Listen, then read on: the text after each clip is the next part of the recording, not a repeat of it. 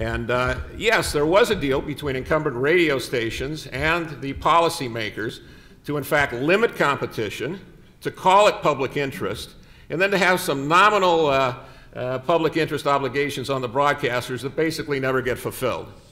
But the political clout that was obtained by putting regulators in the, in the policy loop was very valuable to people like Herbert Hoover and Senator Dill and the other regulators at the time. Was also very valuable to radio stations that knew that the rents of incumbency would be improved by limits on competitive entry. They got what they wanted, the regulators got what they wanted, and now it's time for the First Amendment to give the rest of us what we want.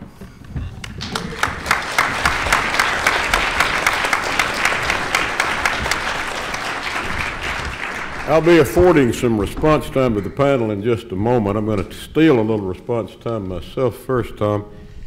Uh, as far as conservatives being on the wrong side of the fairness doctrine, my recollection is that my old uh, stablehead and uh, political former broadcaster Jesse Helms was always an opponent of the fairness rule. Who? Jesse Helms, I think Was he was considered a conservative. Incorrect. Very, very much a champion of the fairness doctrine. It's not my recollection. Well, uh, it, it's the fact. Um, if you read the Federalist, if you read the Federalist Society publication, Robert Corn-Revere has a wonderful uh, piece in the the uh, February 09. So you may be right. Well, Uh, it's I'm my sorry- recollection from many conversations from Jesse when he was a TV station owner that he was opposed to it then when he was doing the editorials and was being attacked for the editorials and it was We being can find that, but I, I do know that Robert Corn-Revere Mm-hmm. cites Jesse Helms as a longtime champion, uh, along with. I doubt if he knew him as well as I did. Well, I will say there No, were, there pardon. were a lot of conservatives who viewed it as a way to get around liberal media bias in the traditional media outlets. They, they, they thought they could get equal time on the radio. And so there were some conservatives, I can't speak to Senator Helms, but there were some conservatives who were. I'm certainly willing to uh, let that one lay. Any event, I think I'm going to give Jamie the first and last rebuttal since he is outnumbered at least in direction. So Jamie, if you want to take it away. Thank you, Your Honor. Then Well- we'll come back to Seton and then finally to Tom. I mean, but I suppose that, that I don't view much distance between my position and Tom's position. Maybe he doesn't agree with that, but I, you know, I consider myself a very strong champion of free speech and libertarianism.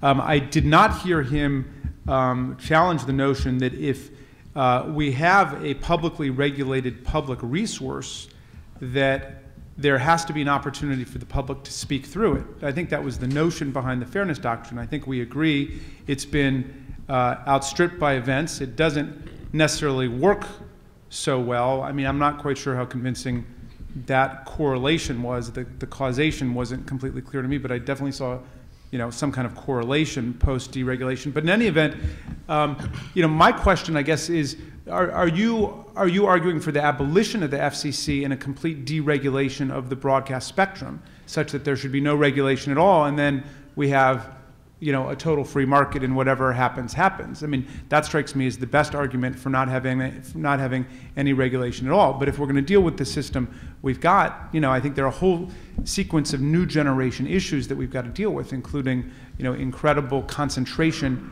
of the media and conglomeration of uh, media resources. I think that's the greatest threat, really, to the diversity of freedom of speech and expression in the country today. Seton? Well, I, I've always said the public interest is best served by what the public is interested in. And you don't have to chase around a mythical notion of diversity. You just have to flip the microphone on, and if people want to listen, they'll listen, and they'll sell advertising, and they'll remain on the air. And if they don't want to listen, they'll change the channel. And we've had multiple uh, attempts to deliver liberal talk radio to the uh, masses, both as individuals, from Jim Hightower to Mario Cuomo, uh, and then Air America, which has filed for bankruptcy so many times, I think it's going to file for nonprofit status at this point. and people don't want it. So I think the people's voices are being delivered to the masses because they're choosing A and not B. So, Tom, but- I'm going to come back to you, Jamie, after we hear from Tom. Yeah, I, I suppose I was asking if I was in favor of uh, uh, abolishing the Federal Communications Commission. Well, you know, I mean, I dream like everybody else. but,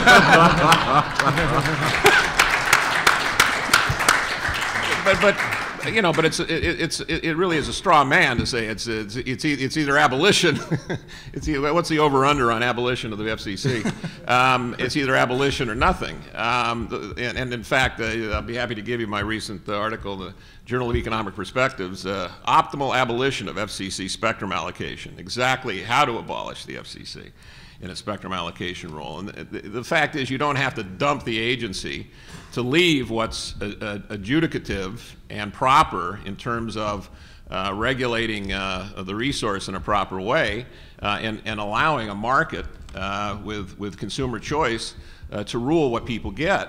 And let me just point out, when you, when you say that there's no, uh, there, there's no, you know, there's, how can you have an, an opposition to, to the reasonable idea that people get a chance to reply and be equal and fun and, and, and, and, and, and, and both sides?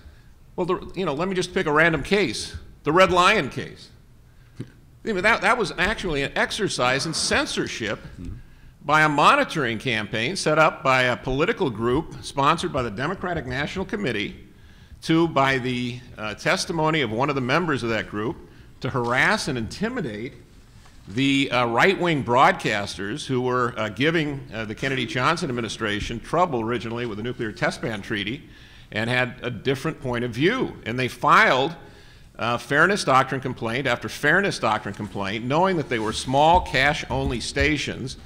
And if they had to put up with this kind of harassment, that they would be less likely uh, to voice these opinions. Now that case got that. That's by the way, it's a wonderful book by Fred Friendly, another former uh, CBS uh, president, Fred Friendly, the late uh, uh, journalist and um, uh, and professor, uh, the good guys, the bad guys in the First Amendment. And uh, the fact is that case got to the United States Supreme Court.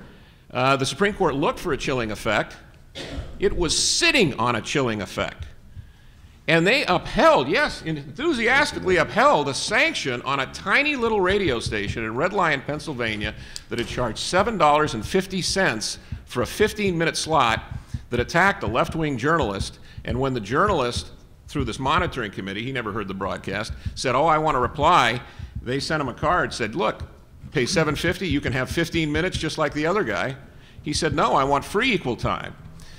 The whole point of that campaign was to get a tax on speech, to make sure that the, the people who broadcast views that were not of their own uh, were going to pay extra uh, for actually reaching the airwaves. It So wasn't the original lowers- broadcast actually a book review. It wasn't even a, Well, it was, it was on, it was a book, uh, uh, it was under the guise of a book review at least. He wrote the wasn't it? book He got on- extemporaneous after a bit. He wrote the book on Goldwater, Extremists on the Run. Yeah. And he attacked Fred Cook for two minutes. Mm-hmm. I wouldn't call it a book review.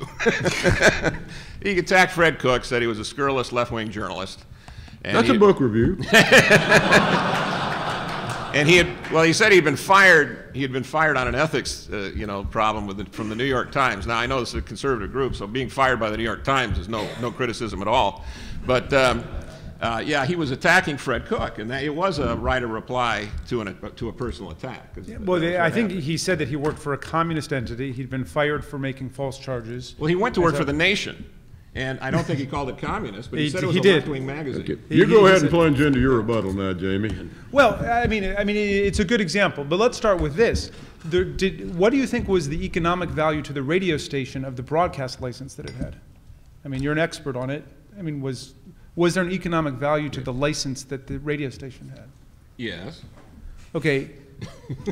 so, in other words, the, the, I mean, remember, in those days, the idea was, you know, we're not dealing with an age where there was an internet and where there were multiple avenues for public communication and discourse. So, a radio station was a big deal. So, we hand off this valuable commodity to a private entity and say, we're going to condition it on your public interest obligations. They put a guy up there who calls another guy essentially a communist, saying he works for communist organizations. He got fired. He defended Alger Hiss. Um, he's, you know, now written a book to smear Barry Goldwater and so on, and goes on. And uh, this guy says, I want a chance to respond. And that's precisely what the political attack rule was about, to give people the right to respond. Now,